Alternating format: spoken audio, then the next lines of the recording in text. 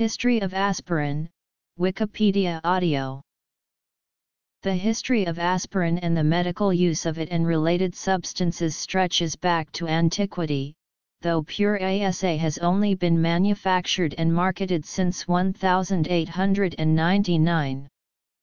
Medicines made from willow and other salicylate-rich plants appear in clay tablets from ancient Sumer as well as the Ebers papyrus from ancient Egypt. 813 Hippocrates referred to their use of salicylic tea to reduce fevers around 400 BC, and were part of the pharmacopoeia of Western medicine in classical antiquity and the Middle Ages. Willow bark extract became recognized for its specific effects on fever, pain, and inflammation in the mid-18th century. By the 19th century pharmacists were experimenting with and prescribing a variety of chemicals related to salicylic acid, the active component of willow extract, 4655. In 1853, chemist Charles Frederick Gerhardt treated acetyl chloride with sodium salicylate to produce acetyl salicylic acid for the first time, 46-48 in the second half of the 19th century. Other academic chemists established the compound's chemical structure and devised more efficient methods of synthesis. In 1897, scientists at the drug and dye firm Bayer began investigating acetyl salicylic acid as a less irritating replacement for standard common salicylate medicines, and identified a new way to synthesize it. 6975 by 1899, Bayer had dubbed this drug aspirin and was selling it around the world. 27 The word aspirin was Bayer's brand name, rather than the generic name of the drug, however, Bayer's rights to the trademark were lost or sold in many countries. Aspirin's popularity grew over the first half of the 20th century leading to fierce competition with the proliferation of aspirin brands and products. Aspirin's popularity declined after the development of acetaminophen-paracetamol in 1956 and ibuprofen in 1962.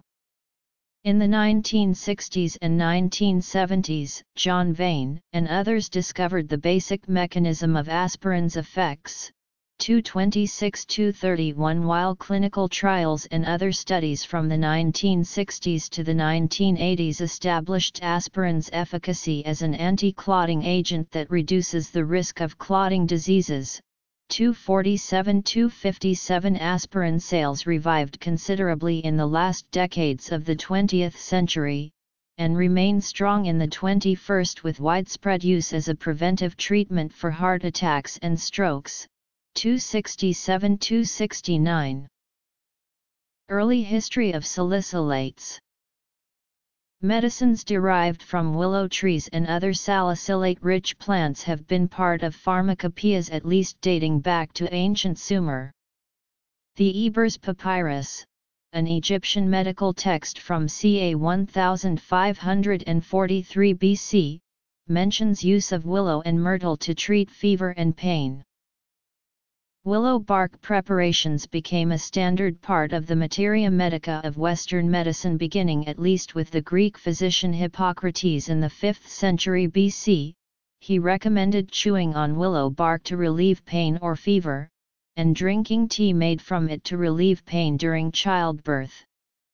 The Roman encyclopedist Celsus, in his De Medicina of ca 30 AD, suggested willow leaf extract to treat the four signs of inflammation, redness, heat, swelling and pain. Willow treatments also appeared in Dioscorides' De Materia Medica, and Pliny the Elder's Natural History. By the time of Galen, willow was commonly used throughout the Roman and Arab worlds, 1415 as a small part of a large, growing botanical pharmacopoeia. The major turning point for salicylate medicines came in 1763, when a letter from English chaplain Edward Stone was read at a meeting of the Royal Society, describing the dramatic power of willow bark extract to cure ague an ill-defined constellation of symptoms, including intermittent fever, pain, and fatigue, that primarily referred to malaria. Inspired by the doctrine of signatures to search for a treatment for agues near the brackish waters that were known to cause it, Stone had tasted the bark of a willow tree in 1758 and noticed an astringency reminiscent of the standard and expensive ague cure of Peruvian bark. He collected, dried, and powdered a substantial amount of willow bark, and over the next five years tested it on a number of people sick with fever and agues. In his letter, Stone reported consistent success, describing willow extract's effects as identical to Peruvian bark, though a little less potent. Stone's letter was printed in Philosophical Transactions, and by the end of the 18th century willow was gaining popularity as an inexpensive substitute for Peruvian bark, 1734. In the 19th century, as the young discipline of organic chemistry began to grow in Europe, scientists attempted to isolate and purify the active components of many medicines, including willow bark. After unsuccessful attempts by Italian chemists Brugnatelli and Fontana in 1826, Joseph Buchner obtained relatively pure salicin crystals in 1828. The following year, Henri Leroux developed another procedure for extracting modest yields of salicin. In 1834, Swiss pharmacist Johann Pagenstecher discovered what he thought was a new pain-reducing substance, isolated from the common remedy of meadowsweet. By 1838, Italian chemist Raffaele Piria found a method of obtaining a more potent acid form of willow extract, which he named salicylic acid. The German chemist who had been working to identify the spirea extract, Carl Jacob Löwig, soon realized that it was in fact the same salicylic acid that Piria had found, 3840. Salicylate medicines including salicin, salicylic acid, and sodium salicylate were difficult and wasteful to extract from plants, and in 1860 Hermann Kolbe worked out a way to synthesize salicylic acid. 48 Throughout the late 1800s use of salicylates grew considerably, and physicians increasingly knew what to expect from these medicines, reduction of pain, fever, and inflammation. However, the unpleasant side effects, particularly gastric irritation, limited their usefulness, 4655 as did their intense bitterness. By the 1880s, the German chemical industry, jump-started by the lucrative development of dyes from coal tar, was branching out to investigate the potential of new tar-derived medicines. 4046 The turning point was the advent of Kalle and Company's antifebrin, the branded version of the well-known dye derivative acetanilide the fever-reducing properties of which were discovered by accident in 1886. Antifebrin's success inspired Carl D. Uisberg, the head of research at the small dye firm Friedrich Bayer and Company, to start a systematic search for other chemical fever reducers. Bayer chemists soon developed phenacetin, followed by the sedatives sulfonal and trional, 6265. Upon taking control of Bayer's overall management in 1890, Duisberg began to expand the company's drug research program. He created a pharmaceutical group for creating new drugs, headed by former university chemist Arthur Eichengrun, and a pharmacology group for testing the drugs, headed by Heinrich Dreser.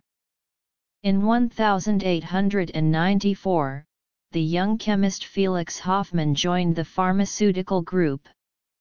Dreser, Eichengrun, and Hoffmann would be the key figures in the development of acetyl salicylic acid as the drug aspirin, 65-68. In 1897, Hoffmann started working to find a less irritating substitute for salicylic acid. It is generally accepted that he turned to this idea because his father was suffering the side effects of taking sodium salicylate for rheumatism. 68. In 1853, Charles Frederick Gerhardt had published the first methods to prepare acetyl salicylic acid, 46-48 in the course of his work on the synthesis and properties of various acid anhydrides, he mixed acetyl chloride with a sodium salt of salicylic acid. A vigorous reaction ensued, and the resulting melt soon solidified. Since no structural theory existed at that time Gerhardt called the compound he obtained salicylic acetic anhydride. When Gerhardt tried to dissolve the solid in a diluted solution of sodium carbonate it immediately decomposed to sodium salts of salicylic and acetic acids. In 1859 an Austrian chemist, Hugo von Gilm, obtained analytically pure acetyl salicylic acid by a reaction of salicylic acid and acetyl chloride. In 1869 Schroeder, Prinzhorn, and Kraut repeated both Gerhardt's and von Gilm's syntheses and concluded that both reactions gave the same compound acetyl salicylic acid. They were first to assign to it the correct structure with the acetyl group connected to the phenolic oxygen. It is likely that Hoffmann did as most chemists have always done, starting by studying the literature and recreating the published methods. 70 On August 10, 1897, Hoffmann found a better method for making ASA, from salicylic acid refluxed with acetic anhydride, 6971, 25. 18th and 19th centuries Eichengrun sent ASA to Dreser's pharmacology group for testing, and the initial results were very positive. The next step would normally have been clinical trials, but Dreser opposed further investigation of ASA because of salicylic acid's reputation for weakening the heart possibly a side effect of the high doses often used to treat rheumatism. Dreser's group was soon busy testing Felix Hoffmann's next chemical success, diacetylmorphine. Eichengrun, frustrated by Dreser's rejection of ASA, went directly to Bayer's Berlin representative Felix Goldman to arrange low-profile trials with doctors. Though the results of those trials were also very positive, with no reports of the typical salicylic acid complications, Dreser still demurred. However, Carl Duisberg intervened and scheduled full testing. Soon, Dreser admitted ASA's potential and Bayer decided to proceed with production. Dreser wrote a report of the findings to publicize the new drug, in it, he omitted any mention of Hoffmann or Eichengrun, 71-74, 25-26 he would also be the only one of the three to receive royalties for the drug, since it was ineligible for any patent the chemists might have taken out for creating it. For many years, however, he attributed aspirin's discovery solely to Hoffmann, 71-74, 22-26. The controversy over who was primarily responsible for aspirin's development spread through much of the 20th century and into the 21st. Although aspirin's origin was in academic research and Bayer was not the first to synthesize it, as of 2016 Bayer still described Hoffmann as having discovered a pain-relieving, fever-lowering, and anti-inflammatory substance. Historians and others have also challenged Bayer's early accounts of Bayer's synthesis, in which Hoffmann was primarily responsible for the Bayer breakthrough. In 1949, shortly before his death, Eichengrun wrote an article, 50 years of aspirin, claiming that he had not told Hoffmann the purpose of his research, meaning that Hoffmann merely carried out Eichengrun's research plan, and that the drug would never have gone to the market without his direction. This claim was later supported by research conducted by historian Walter Sneader. Axel Helmstedter, General Secretary of the International Society for the History of Pharmacy, subsequently questioned the novelty of Sneader's research, noting that several earlier articles discussed the Hoffmann-Eichengrun controversy in detail. Bayer countered Sneader in a press release stating that according to the records, Hoffmann and Eichengrun held equal positions, and Eichengrun was not Hoffmann's supervisor. Hoffmann was named on the U.S. patent as the inventor, which Sneader did not mention. Eichengrun, who left Bayer in 1908, had multiple opportunities to claim the priority and had never before 1949 done it, he neither claimed nor received any percentage of the profit from aspirin sales. The name aspirin was derived from the name of the chemical ASA Acetylspirsäure in German.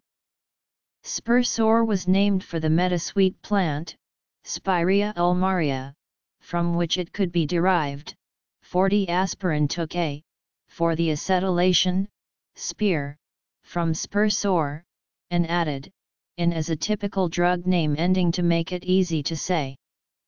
In the final round of naming proposals that circulated through Bayer, it came down to aspirin and euspirin, aspirin, they feared, might remind customers of aspiration, but Arthur Eichengrun argued that EU was inappropriate because it usually indicated an improvement over an earlier version of a similar drug.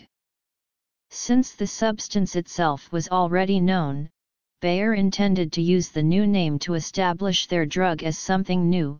In January 1899 they settled on aspirin, 73, 27. Under Carl Duisberg's leadership, Bayer was firmly committed to the standards of ethical drugs, as opposed to patent medicines. Ethical drugs were drugs that could be obtained only through a pharmacist, usually with a doctor's prescription. Advertising drugs directly to consumers was considered unethical and strongly opposed by many medical organizations, that was the domain of patent medicines. Therefore, Bayer was limited to marketing aspirin directly to doctors, 8083. When production of aspirin began in 1899, Bayer sent out small packets of the drug to doctors, pharmacists and hospitals, advising them of aspirin's uses and encouraging them to publish about the drug's effects and effectiveness. As positive results came in and enthusiasm grew, Bayer sought to secure patent and trademark wherever possible. It was ineligible for patent in Germany, but aspirin was patented in Britain and the United States. The British patent was overturned in 1905, the American patent was also besieged but was ultimately upheld, 7780. Faced with growing legal and illegal competition for the globally marketed ASA, Bayer worked to cement the connection between Bayer and aspirin. One strategy it developed was to switch from distributing aspirin powder for pharmacists to press into pill form to distributing standardized tablets complete with the distinctive Bayer Cross logo. In 1903 the company set up an American subsidiary, with a converted factory in Rensselaer, New York, to produce aspirin for the American market without paying import duties. Bayer also sued the most egregious patent violators and smugglers. The company's attempts to hold onto its aspirin sales incited criticism from muckraking journalists and the American Medical Association, especially after the 1906 Pure Food and Drug Act that prevented trademarked drugs from being listed in the United States Pharmacopoeia. Bayer listed ASA with an intentionally convoluted generic name to discourage doctors referring to anything but aspirin. 8896, 2831. By the outbreak of World War I in 1914, Bayer was facing competition in all its major markets from local ASA producers as well as other German drug firms. The British market was immediately closed to the German companies, but British manufacturing could not meet the demand especially with phenol supplies, necessary for ASA synthesis, largely being used for explosives manufacture. On February 5, 1915, Bayer's UK trademarks were voided, so that any company could use the term aspirin. The Australian market was taken over by Aspro, after the makers of Nicholas Aspirin lost a short-lived exclusive right to the aspirin name there. In the United States, Bayer was still under German control though the war disrupted the links between the American Bayer plant and the German Bayer headquarters but phenol shortage threatened to reduce aspirin production to a trickle, and imports across the Atlantic Ocean were blocked by the Royal Navy, 97-110. Synthesis of ASA Naming the drug To secure phenol for aspirin production, and at the same time indirectly aid the German war effort, German agents in the United States orchestrated what became known as the Great Phenol Plot. By 1915, the price of phenol rose to the point that Bayer's aspirin plant was forced to drastically cut production. This was especially problematic because Bayer was instituting a new branding strategy in preparation of the expiry of the aspirin patent in the United States. Thomas Edison, who needed phenol to manufacture phonograph records, was also facing supply problems. In response, he created a phenol factory capable of pumping out 12 tons per day. Edison's excess phenol seemed destined for trinitrophenol production, 3941, 109113. Rights and sale. World War I and Bayer. Great Phenol Plot. Bayer loses foreign holdings. Interwar years Although the United States remained officially neutral until April 1917, it was increasingly throwing its support to the Allies through trade. To counter this, German Ambassador Johann Heinrich von Bernstorff and Interior Ministry official Heinrich Albert were tasked with undermining American industry and maintaining public support for Germany. One of their agents was a former Bayer employee, Hugo Schweitzer, 3839 Schweitzer set up a contract for a front company called the Chemical Exchange Association to buy all of Edison's excess phenol. Much of the phenol would go to the German-owned Chemische Fabrik von Heyden's American subsidiary. Heyden was the supplier of Bayer's salicylic acid for aspirin manufacture. By July 1915, Edison's plants were selling about 3 tons of phenol per day to Schweitzer, Heyden's salicylic acid production was soon back online, and in turn Bayer's aspirin plant was running as well, 4041. The plot only lasted a few months. On July 24, 1915, Heinrich Albert's briefcase, containing details about the phenol plot, was recovered by a Secret Service agent. Although the activities were not illegal since the United States was still officially neutral and still trading with Germany the documents were soon leaked to the New York World, an anti-German newspaper. The World published an expose on August 15, 1915, 41-42 The public pressure soon forced Schweitzer and Edison to end the phenol deal with the embarrassed Edison subsequently sending his excess phenol to the U.S. military but by that time the deal had netted the plotters over $2 million and there was already enough phenol to keep Bayer's aspirin plant running. Bayer's reputation took a large hit, however, just as the company was preparing to launch an advertising campaign to secure the connection between aspirin and the Bayer brand, 113-114. Beginning in 1915, Bayer set up a number of shell corporations and subsidiaries in the United States, to hedge against the possibility of losing control of its American assets if the U.S. should enter the war and to allow Bayer to enter other markets. After the U.S. declared war on Germany in April 1917, alien property custodian A. Mitchell Palmer began investigating German-owned businesses, and soon turned his attention to Bayer. To avoid having to surrender all profits and assets to the government, Bayer's management shifted the stock to a new company, nominally owned by Americans but controlled by the German-American Bayer leaders. Palmer, however, soon uncovered this scheme and seized all of Bayer's American holdings. After the Trading with the Enemy Act was amended to allow sale of these holdings, the government auctioned off the Rensselaer plant and all Bayer's American patents and trademarks, including even the Bayer brand name and the Bayer Cross logo. It was bought by a patent medicine company, Sterling Products, Inc., 4249 The rights to Bayer aspirin and the U.S. rights to the Bayer name and trademarks were sold back to Bayer AG in 1994 for 1 billion US dollars. Diversification of market with the coming of the deadly Spanish flu pandemic in 1918, aspirin by whatever name secured a reputation as one of the most powerful and effective drugs in the pharmacopoeia of the time.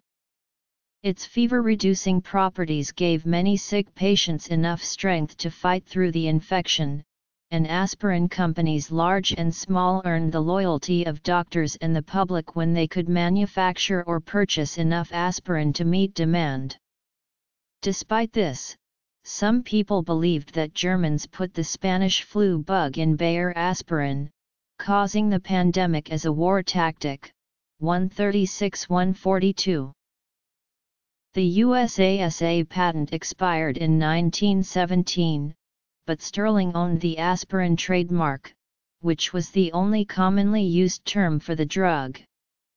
In 1920, United Drug Company challenged the aspirin trademark, which became officially generic for public sale in the U.S.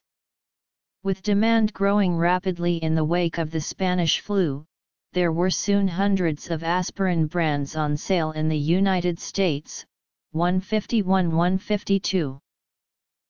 Sterling Products, equipped with all of Bayer's U.S. intellectual property, tried to take advantage of its new brand as quickly as possible, before generic Ozas took over.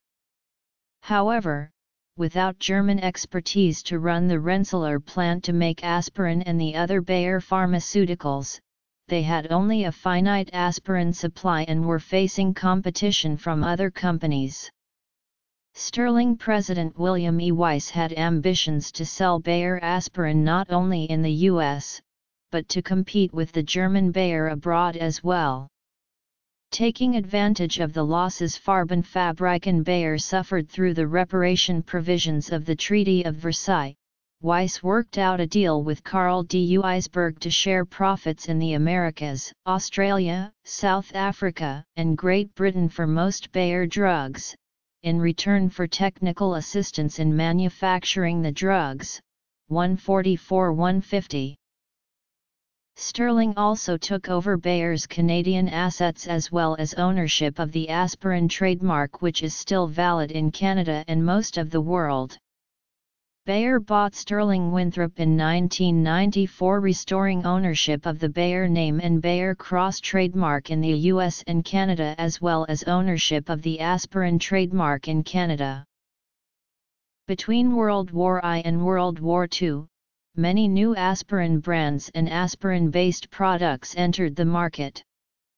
The Australian company Nicholas Proprietary Limited, through the aggressive marketing strategies of George Davies, built Aspro into a global brand, with particular strength in Australia, New Zealand, and the UK, 153-161 American brands such as Burton's Aspirin, Malloy's Aspirin, Cal Aspirin, and St.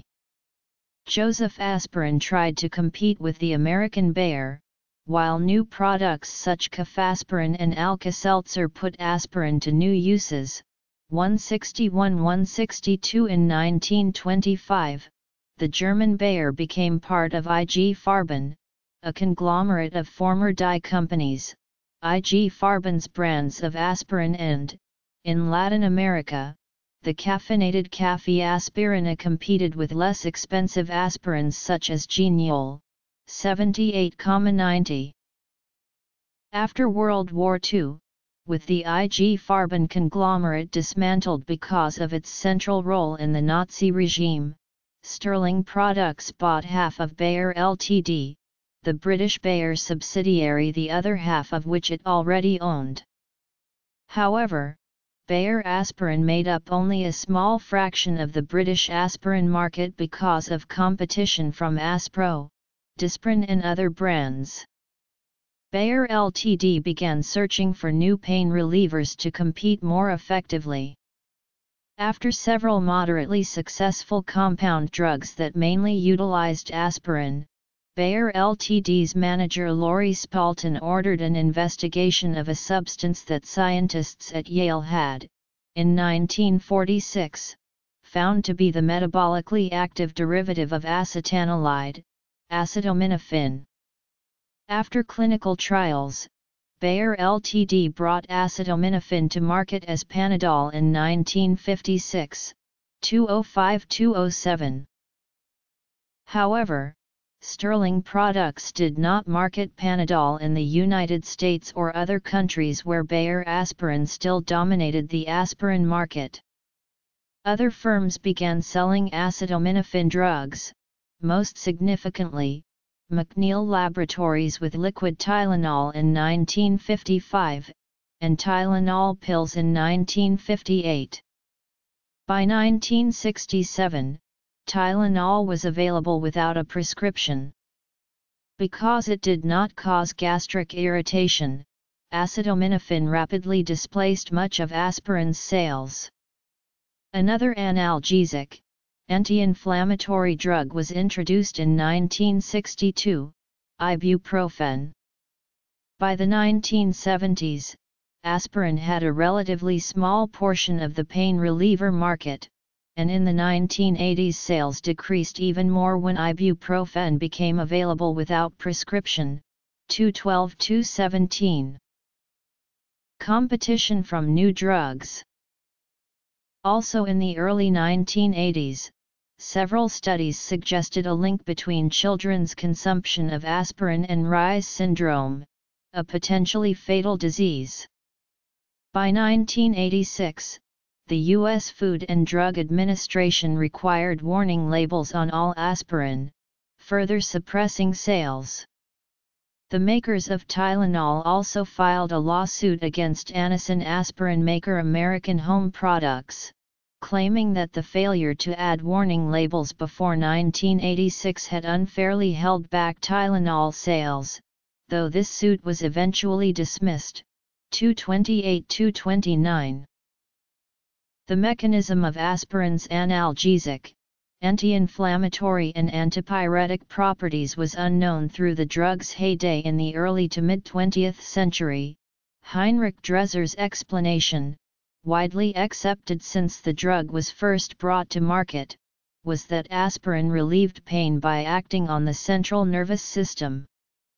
In 1958 Harry Collier, a biochemist in the London laboratory of pharmaceutical company Parke Davis, began investigating the relationship between kinins and the effects of aspirin. In tests on guinea pigs, Collier found that aspirin, if given beforehand, inhibited the bronchoconstriction effects of bradykinin. He found that cutting the guinea pig's vagus nerve did not affect the action of bradykinin or the inhibitory effect of aspirin evidence that aspirin worked locally to combat pain and inflammation, rather than on the central nervous system.